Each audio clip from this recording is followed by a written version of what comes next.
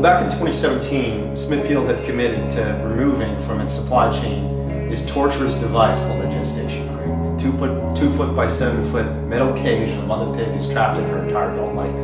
We suspected that they had not actually done that. The government and the industry had not been responsive to any of our entreaties. We've gone to Costco many times, to Smithfield's big buyers and said, hey, we're concerned about your supply chain. They'd done absolutely nothing. So we went ourselves, documented what we saw, guess what we found? Gestation crates.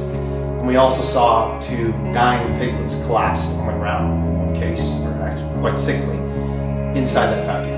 And for taking these two piglets to a vet and bringing them to an animal rescue, we're now facing various serious criminal charges that could lead to up to 10 years in prison. A really important factor is just the fact that Smithfield Foods slash WH Group was able to mobilize the FBI to come after these two piglets.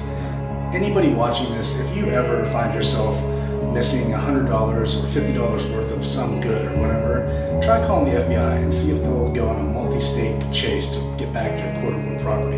Yeah. They won't do it, but because of the ties and the power that Smithfield Foods has and the influence it has over the federal government, the state governments, and the states that it operates in, it's able to do these things that are just frankly disgusting. Yeah. Power has this weird corrupting effect on the law. Yeah. Like when this incredible power comes into contact with the law, it's almost like the law is like twisted and distorted. You can see it like being reshaped by this huge corporation.